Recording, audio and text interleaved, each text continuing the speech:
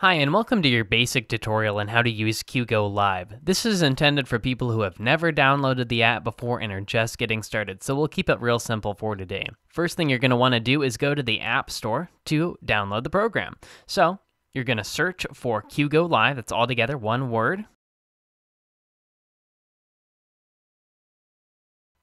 And there it is. We'll simply click Open We'll simply tap on it, and as you see, I've already downloaded it on this device, but if you haven't downloaded the app yet, it'll give you an option to install and it'll download it real quick. Once you have the app on your device, go ahead and tap open, and that will bring you to the application. Now, as you see on the main page here, it will put it there as well, just like your other normal apps.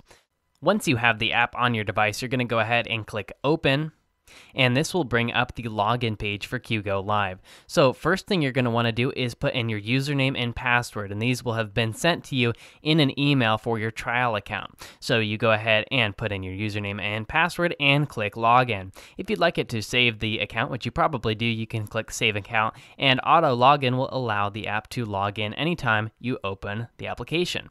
So if you have a saved account on here, which I do, I'm going to go ahead and open that and that will bring up the Live tab. This is kind of like the main screen here for QGO Live. So the first thing you'll probably notice is the big microphone in the center of the screen. This is going to allow you to go live and connect to your station. So all you have to do is tap the microphone and it will connect to the station.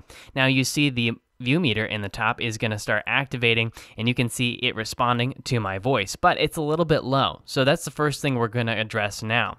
We're going to go ahead and click on the mic in the left side of the screen and we're going to go ahead and increase the audio gain right now.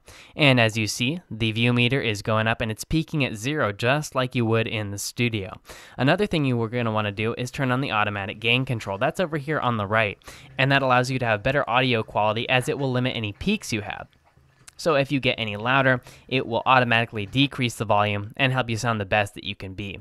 Another thing you see is the lock button right here. So if you want to go ahead and lock the device, you can click that, and that will keep you from accidentally disconnecting yourself from the station.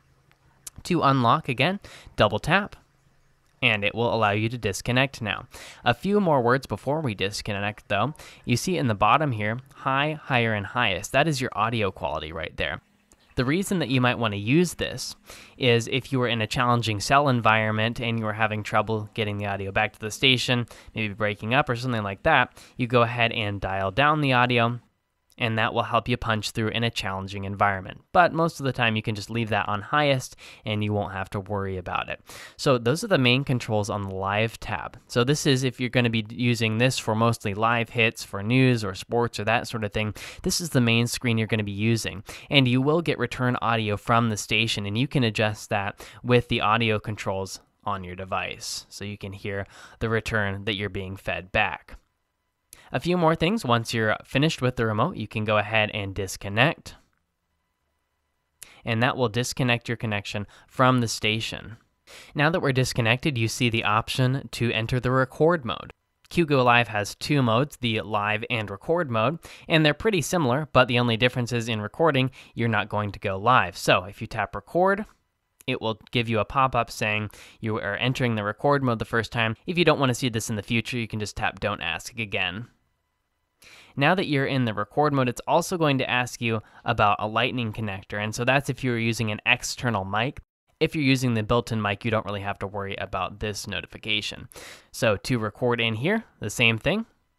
You just tap the mic, and as you see, the audio levels are already good because it remembered my mic gain settings right there. So you can go ahead and record, and once you're done, you tap the microphone again, and there is the recording right there. You can easily edit it right within the app. We're going to trim out this first part and delete that. And now you see there is the full report. We can go ahead and normalize it if we want and enter a file name. Go ahead and hit save. And your report is saved and it'll pop up over here in the recordings tab. There's so much more to QGO Live, and we've got so many more videos that will help walk you through this program. But these are the very basics of the app. And if you've got questions, feel free to check out the other videos we have up, and don't hesitate to reach out to us with support questions.